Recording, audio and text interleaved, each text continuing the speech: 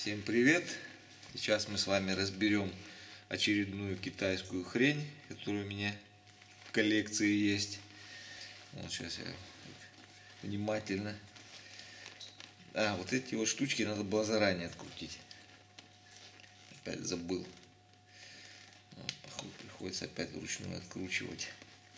Сегодня, боюсь, обзор затянется немножко. У нас в обзоре Land Rover Discovery все вы его уже видели неоднократно. Но я вам расскажу немножко другие вещи об этом телефоне. Не очень хорошие, скажем так. Китайцы думали, думали, но что-то не додумали с этим телефоном. Начнем с первого недостатка его, на мой взгляд. Он у нас хоть и противоударный, но вот, несмотря на эту железную металлическую вкладку, он у нас довольно прочный, но не водонепроницаемый. У нас вода протекает вот через эти вот отверстия довольно свободно. Все китайцы додумали. Вот здесь вот у нас резиновые прокладки в кнопках вставили. Я его разбирал, поэтому я точно знаю, что они их вставили. Вот здесь, где винтики у нас, здесь были резиновые заглушки. Я их вытащил, потому что его разбирал. Чуть позже я скажу, почему разбирал. Вот здесь есть у нас ткань, мелкую сеточку, чтобы вода не протекала. В общем, все у нас здесь для водонепроницаемости есть, кроме одной дохлой резиночки вот здесь, вот, чтобы вода внутрь не проходила. Я его топил, на его функциях это никак не сказывается, но тем не менее вода внутрь попадает. Вот эти в сим-карты она попадает он перестает их определять, но через некоторое время он высыхает и начинает работать.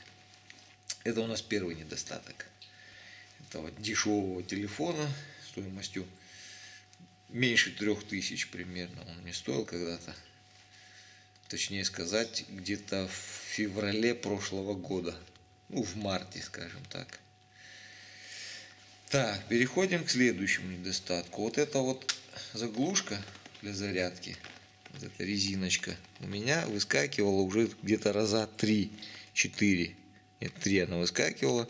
Приходилось его разбирать, раскручивать и вставлять ее обратно. Если неаккуратно ее вот так вот вниз тянуть, она легко отсюда вот так вот выскакивает. Небольшой такой, небольшая придирка, скажем так, недостаток Недостаток, который больше всего раздражает, больше всего может напрягать, скажем так, пользователей. Пользуемся телефоном. Что мы делаем? Сейчас сначала я скажу, что вот эта вот блестящая штучка металлическая рядом с камерой, это у нас, наверное, я так думаю, датчик приближения или что-то типа того. То, что вводит у нас э, к гашению, приводит к гашению экрана. Если мы набираем любую USSD команду, например, баланс проверяем, вот на мегафоне проверим, у нас телефон переходит в режим вечного гашения. Вот он потух. Вот я его нажимаю, включаю, ждем 5 секунд, и что мы видим? Раз, два, три, четыре, пять. Он потух. Все. Глюк прошивки это, глюк телефона. Я не знаю, в чем проблема. Долго я бился с этой проблемой, ничего я не смог сделать. Единственное, чем эта проблема лечится, набором любого голосового вызова, я не знаю, вот, например, службу техподдержки позвоним сейчас 0500 эта проблема у нас исчезает. Сейчас это я сброшу. Опа, не сбрасывается, да? Вот, вызов прекращен. Проблема эта исчезла. Не знаю, это моего аппарата лично проблема, или же это у всех Discovery такая проблема. Аппарат у нас вообще подделка под AGM ROG V5, насколько по внешнему виду можно понять. Вот здесь вот у него, у настоящего аппаратные кнопки есть, а так внешне он похож на него. скажем, аппарат. Процессор дохлый, все здесь. Это просто звонилка. Батарейка у нас довольно-таки слабенькая, 1800 ампер часов. Вчера вечером я его зарядил, сегодня чуть-чуть поиспользовал, поигрался в игрушку. Он уже у нас что требует зарядки. Вот так вот.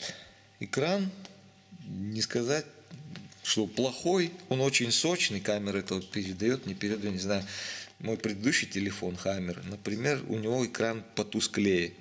Разрешение здесь низкое, но это не недостаток, а скорее преимущество, потому что он меньше напрягает процессор. В итоге у нас лаунчер, все приложения работают намного быстрее и шустрее.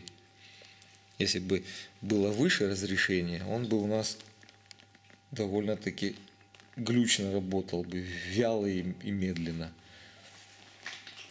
Вот такие у нас недостатки в этом телефоне имеются. Что я могу в общем сказать? Если вдруг вы хотите, не знаю, подростку какому-то подарить телефон, который часто его роняет, у кого руки дырявые, чтобы не было такого. Телефон упал, крышка в одну сторону, батарейка в другую сторону. Телефон вполне подходит. Но учитывая его слабую батарейку, скажем так, это самый, наверное, критичный недостаток этого телефона. Все остальное можно простить. Вот такое мнение у меня за полгода об этом телефоне сложилось. Вот. А дальше сами решайте, как о нем, что, иметь такой телефон или не иметь.